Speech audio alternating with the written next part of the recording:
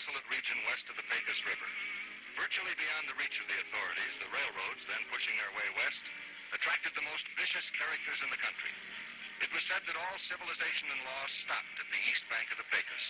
It took one man, a lone storekeeper who was sick of the lawlessness, to change all this.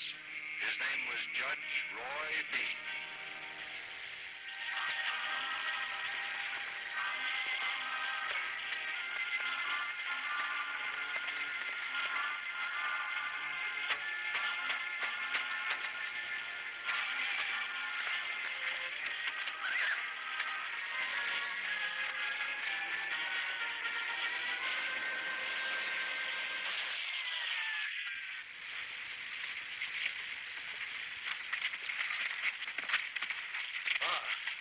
Hello, Conley. You could have shot my head up. You're no better than that. I only hit what I aim at. What do you want? I was riding into Langtry. I thought you might like to go along with me. For what? I want you to meet a friend of mine. I can't go to town. I got work to do. You know better than to say no when I ask you to do something. Now get on your horse.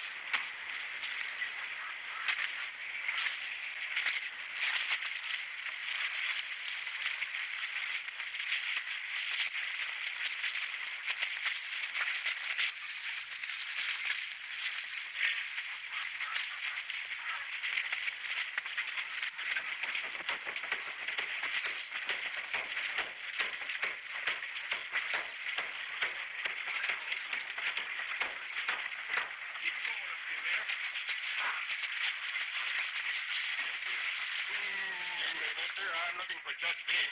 You're looking at him. What can I do for you? My name's Dover. You got a great little town in the makings here, Judge. Great future. Hey, glad you like it. Yes, sir, I think so. With the railroad coming through here, this community's going to grow, and I've decided I want to grow with it. Well, always glad to have good neighbors. I'd like to set up a tent and publish a newspaper. What do you say to that, Judge? Well, sounds interesting, but I'm not so sure there's enough people around here to support a newspaper. you let me worry about that. Have all the faith in the world in this little town. Hardly big enough to call a town yet. Well, it will be, and I expect to be part of its growth. I'd like to set up a tent somewhere along the street. I'll talk to you later about leasing or buying the land. What do you say? Well, I wouldn't want to stand in the way of progress. You want to take the gamble, that's up to you. Thank you, Judge. I was sure you'd feel that way about it. Let's go, Hickey. Get up there. Get up.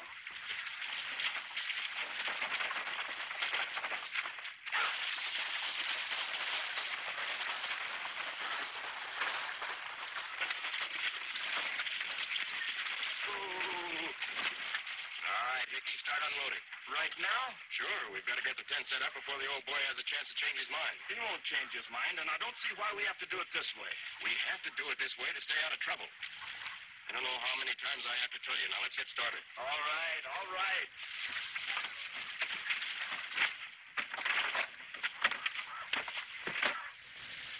More coffee, Jeff? Please. Jenny? Yeah? Got news for you. What, Uncle Roy? We're going to have a newspaper in town. A newspaper? Where? Right now. They're putting up a tent down the street. I've got to see this.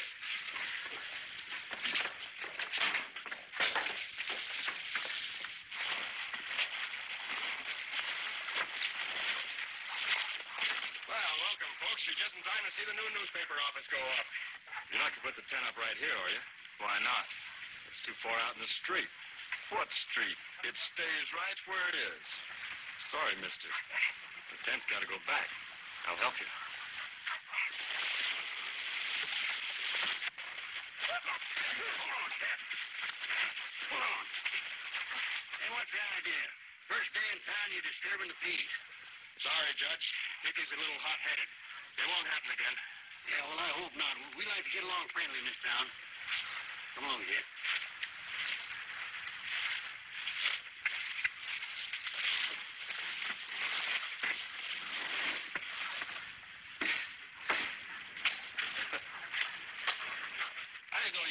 Judge. I mean a sign painter. You didn't know how to sign paint it? I done everything from shearing sheep to pulling teeth.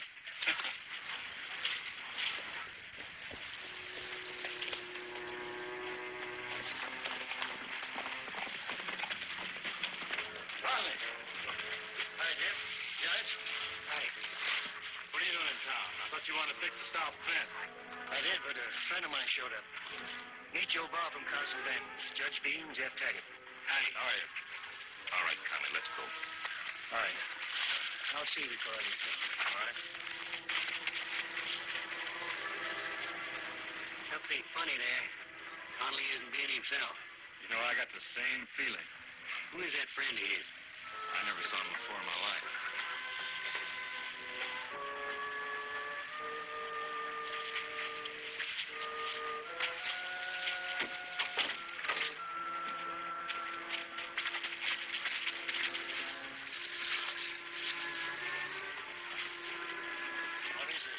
What does it look like?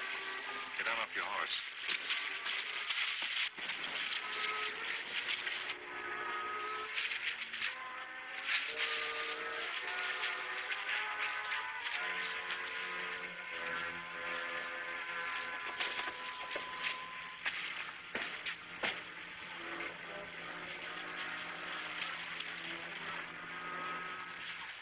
Well, here he is. Meet Mr. Dover.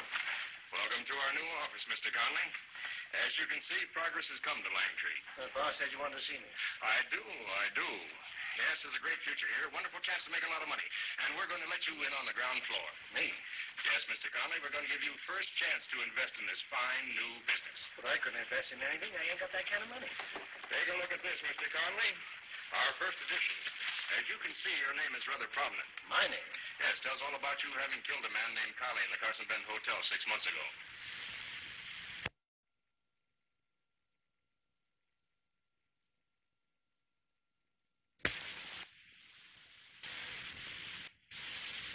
You ain't got any proof of this. You shared the room with Conley, didn't you? And ran out on the killing?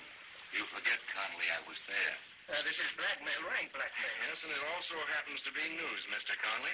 Of course, if you decide to buy into the business, you could have a great deal to say about what we publish. Buy into it.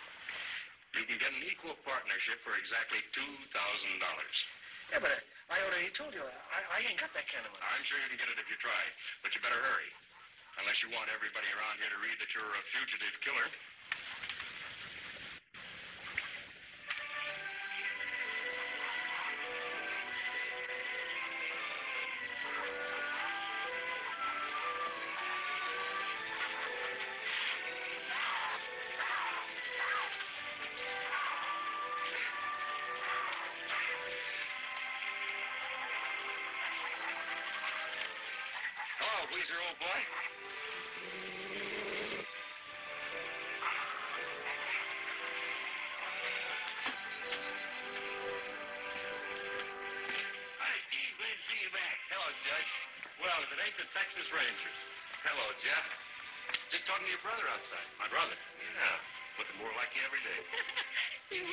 Means That's all right, Bill. For a while, I was afraid I was beginning to look like you. Letty, you're getting prettier every time I see you. Why, thank you, sir. Is that uh, food I smell? It sure is. Come on in and have some. I'll take you up on that, but I'll put my horse away first. Be right back. Judge, uh, uh, do you mind if I talk to you for a minute? Yeah, go ahead. Well, uh, uh, I was wondering if you'd let me have some money. Sure, I'll let you have some money.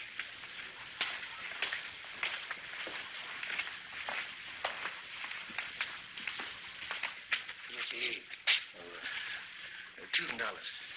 Two thousand dollars. You know I don't keep that kind of money around Conley. Five hundred's the best I can do. You're welcome to if you can use it.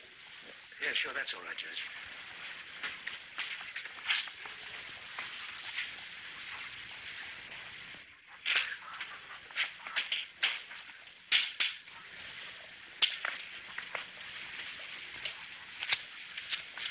Here you are. Sorry you haven't got more. Oh, that's okay, Judge. Uh, you know, a business deal. A little business deal.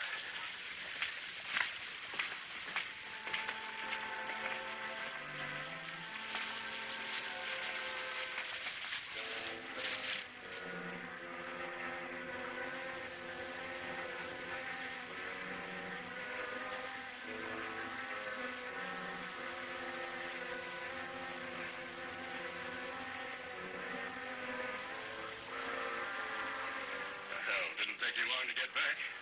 It's five hundred dollars. I'll take it. That's all I can get. How soon can you get the rest? That's all there is. I can't get it. Don't talk like that, Conley. You own a ranch, don't you? Yeah, and if you think you're going to get your hands on it, why? I'll be a reasonable man. You can sign over your ranch to me. Why you? Now, look. Look, Conley, you better be sensible. You don't want everybody around here to know that you're a killer, do you? No, I guess not. I anticipated something like this, so I brought along a proper legal form. You can just sign it. We'll fill in the details later. Remember, Conley, you can hang for what you did back in Carson Bend.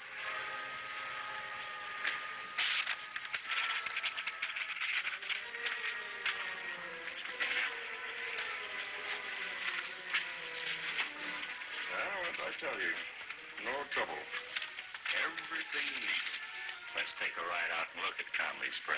Why not?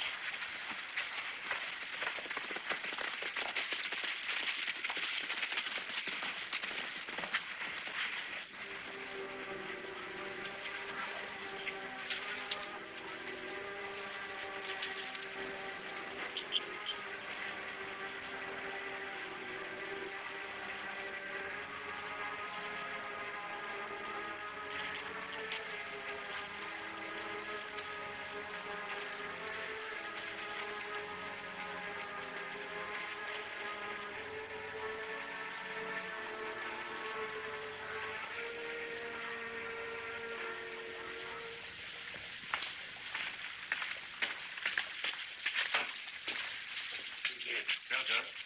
I you to do. What's up? Come with me. Hi, Steve. Go ahead. Ready get your company? Good. Hi, Steve. You hungry?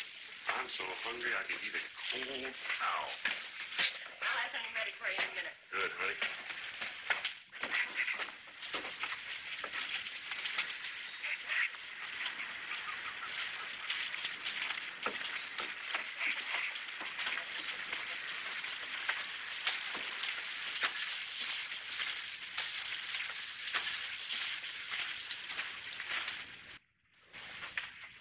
Nobody here. Yeah, we'll look around anyway. We need a search warrant for this. If we do, I'll sign it tomorrow.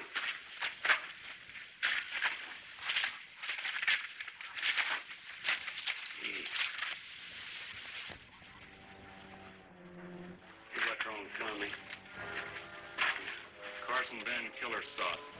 Tom Kiley shot and robbed. Conley couldn't do that. He couldn't kill anybody. Just take it easy, son.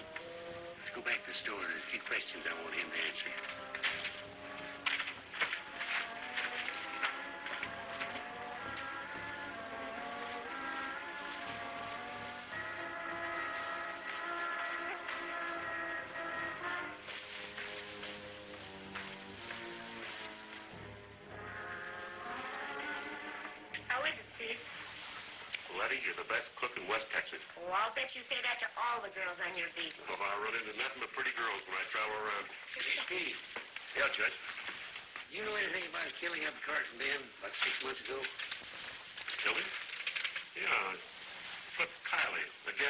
Killed him? Well, we haven't been able to figure that out yet, Judge, but some pal he was running around with shot him three times in the back. That doesn't sound like Conley. Conley? You can't let our feelings decide this for us, Jeff. Hey, wait a minute. What's Conley got to do with it? I'm not sure. I think maybe you better bring him in, Jeff. Conley wouldn't do it. I'd be willing to swear to it. You know, you better bring him in anyway.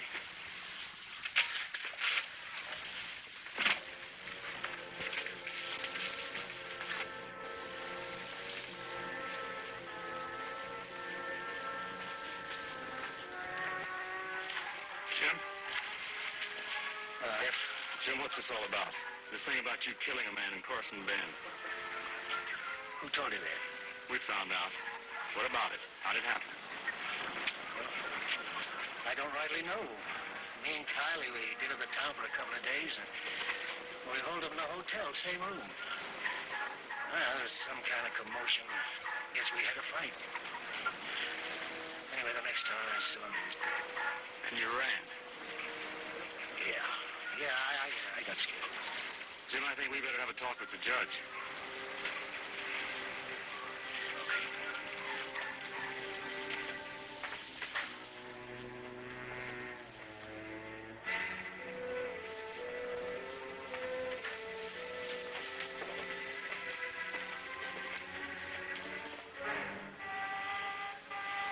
Then Kyle was robbed. Money, watch, a ring. They say he carried a derringer, but nobody ever found him. Spoil your dinner. Sorry, honey. Carly's waiting for you. Well, finish your dinner, Steve. We'll take care of it. But Kylie's the night he was killed. Says he doesn't remember anything. What about this man Dover, Jim? You ever seen him before? No, never. How about Bart? Yeah, I've known Bob for years. He, he was in Carson Bend the night that I... Uh, the night that Carly was killed. They've been using this to try to get money away from you? Yeah. On my ranch, too. I think we better have a talk with this Dover. Afraid that wouldn't help Conley much. Jim, I'm going to have to put you in jail. Jail? You're going to have to stand trial for this. Why put me in jail? I ain't going no place. Well, Jim, I can't feel that you, you could have killed that man. But you ran away, and that made it look awful bad for you. And if you run away this time, you're going to be running away the rest of your life. Uh, put me in jail. I thought you were my friend. I am. I'm going to try to help you. But you got to do it this way. Come on, Jim. You ain't my friends. None of you are my friends.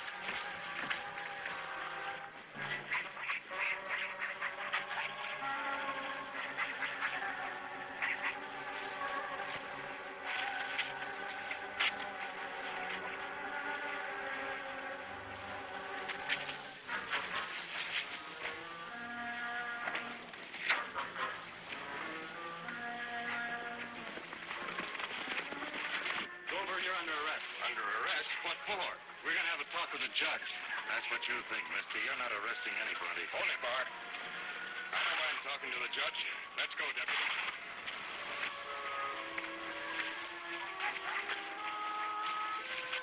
Here's Dover, Judge.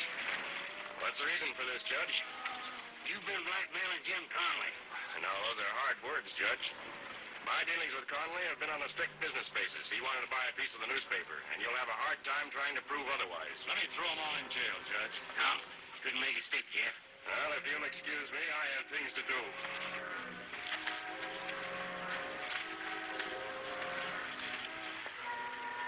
We're gonna let him get away with this. I think that feller's got a pretty slick operation working for him. What are we gonna do? We'll wait for a break.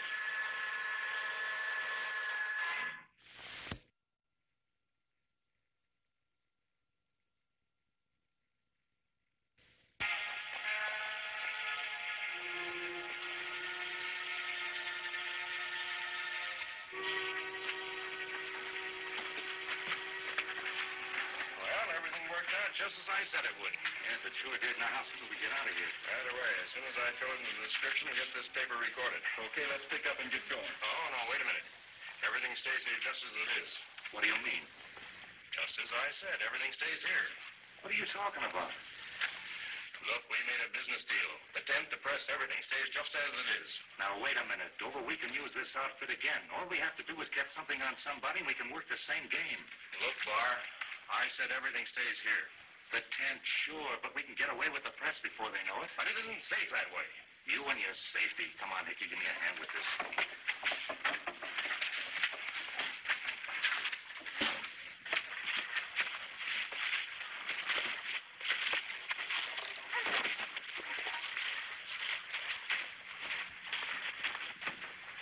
You ready to go? In a minute. I'm still not sure this is the right move. Forget it, will you? Come on. Going someplace? Yeah, we're going someplace. What about it? You're all under arrest. You tried that before. This time we're going to make it stick. On what charge? You're still talking about blackmail. I'm Talking about a robbery. Who's trying to get away with that printing press outside? Well, that belongs to me. Half of that belongs to Jim Conley, and you know it. Oh, now, wait a minute, Judge. These two are trying to steal it. I was just trying to stop him, that was all. All right, we're getting out of here. You first.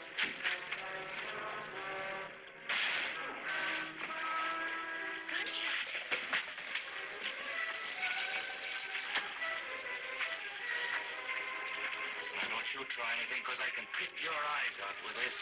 Come on.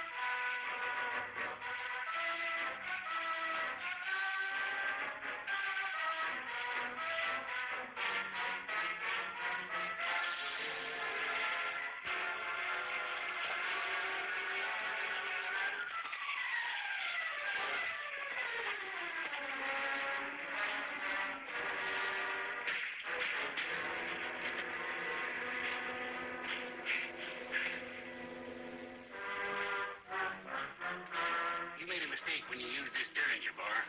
We figured it belonged to Kylie. Just to refresh your memory, Kylie's a gambler you shot and killed and robbed in Carson Bend. You can't tell him to me I bought that Derringer. Suppose you bought this watch, too. Now, that's got Kylie's initials on it, and I'm holding you for murder. Steve, lock him up. You're ready to take him away.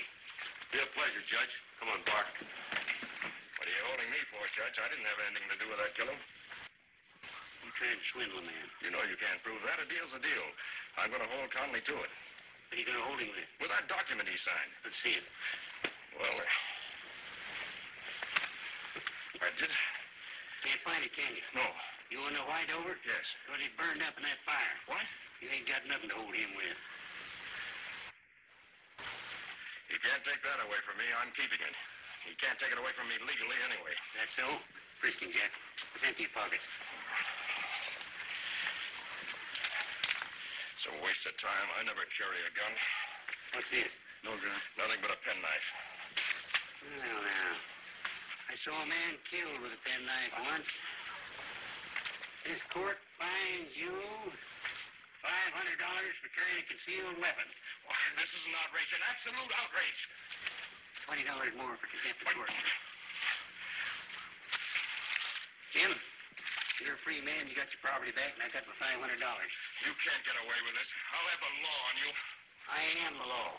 Now, you take that wagon of yours and get out of town before I lock you up for vagrancy. Why, you... And I'll throw away the keys. Now, get!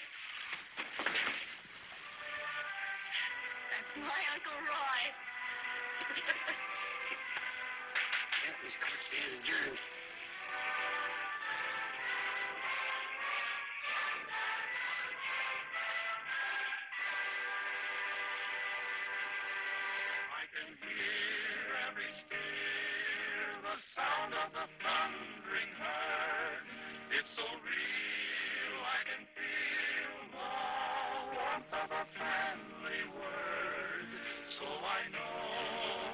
us go to the land of the Pecos.